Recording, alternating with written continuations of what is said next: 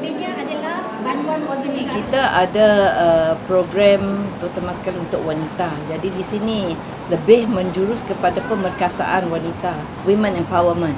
Dan kita melihat usaha yang telah dilakukan uh, oleh pihak uh, pengurusan uh, penjara ini telah banyak membantu untuk uh, memberi harapan kepada uh, penghuni-penghuni wanita yang berada di sini. Walaupun mereka yang ada di di dalam perlindungan sini tetapi mereka masih dapat mempelajari um, apa nama ilmu-ilmu yang boleh mereka gunakan kalau mereka keluar nanti. Malah ada juga yang kita dapat ada yang masih belajar akan mengambil peperiksaan SPM, ada yang telah keluar dapat uh, distinction sebelum ni 6 A's uh, dan uh, ada yang uh, melanjutkan pelajaran mengambil PhD.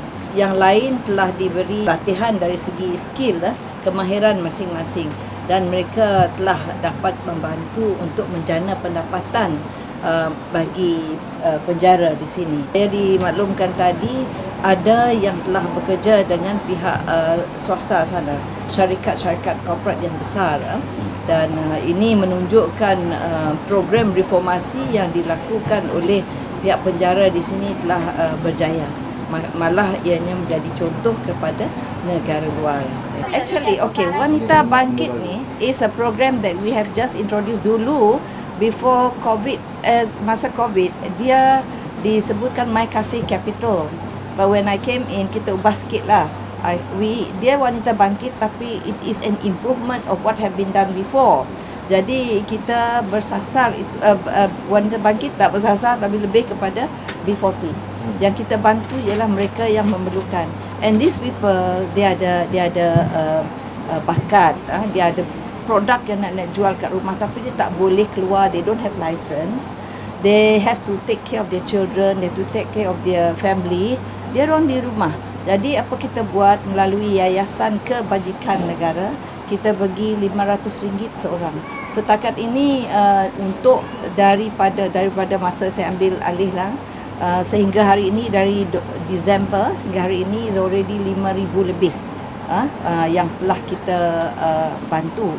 Insyaallah uh, this is going to be actually is meant to be a weekly program untuk cover the whole country. Jadi ini yang di penjara ini merupakan salah satu daripada yang bersasar dan kita akan uh, bantu cari jalan macam mana kita nak uh, mekanisme dia lah. Cuma program tu memang sudah ada. Pandu wanita dekat Malaysia lah ada 3850 dan daripada jumlah tersebut for sure lah 1000 lebih je warga negara Malaysia. Jadi warga negara asing tu dia tak akan masuk melalui program ni lah sebab akan dihantar pulang ke negara yeah. masing-masing. Ha, jadi daripada jumlah tersebut yang akan dibebaskan dalam satu-satu masa ni lebih kurang 10%. Jadi jumlah dia tu antara 100 ke 200 yeah. orang je. Tak ramai. Jumlah dia tak ramai. Jadi uh, kita amat berterima kasih lah Jabatan Penjaga sangat berbesar hati dengan kunjungan yang berhormat menyantuni kami dan juga penghuni-penghuni kami di sini. Jadi kami pun lebih kurang mereka juga. Sebelah kaki tu orang kata dalam penjara sebelah kaki kat luar. Kalau kami kerja 30 tahun, 10 tahun kami di penjara. Ha, jadi umpama macam tu lah. Tak.